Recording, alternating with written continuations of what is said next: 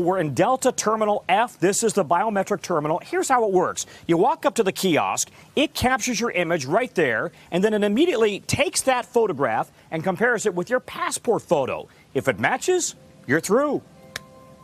At the world's busiest airport, it's all about picking up the pace. Just stop right here and take a look at the camera for me. Here you go. You have a great flight.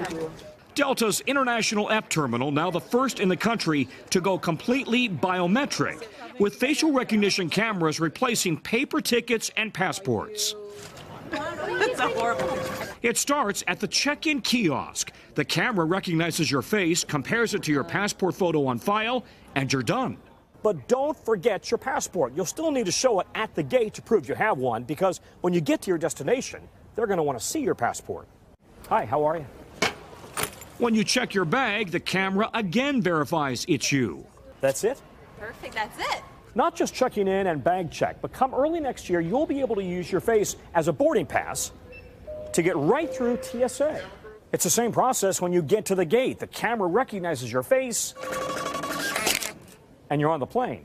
It's just like a one step, you know, you don't have to go through the hassles and uh, it's very convenient. Homeland Security already uses facial recognition cameras for arriving and departing international passengers.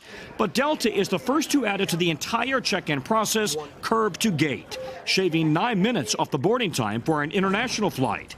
Next month, coming to Detroit's international flights and soon flights within the U.S. I think it's realistic to expect within the next couple of years to be able to experience this same benefit domestically as well. A slow rollout across the country as facial recognition comes to an airport near you. So here's how it works. This camera is actually taking a whole bunch of measurements of my face, the distance between my eyes, my nose, my ears, my mouth, the breadth and, and length of the nose and the nose and the face. And all of that is part of the measurements that they have on file. TSA and Homeland Security says it's 98% accurate. So no more digging through your pockets to get your passport or your ticket. Literally, look at the camera and you're in. Right.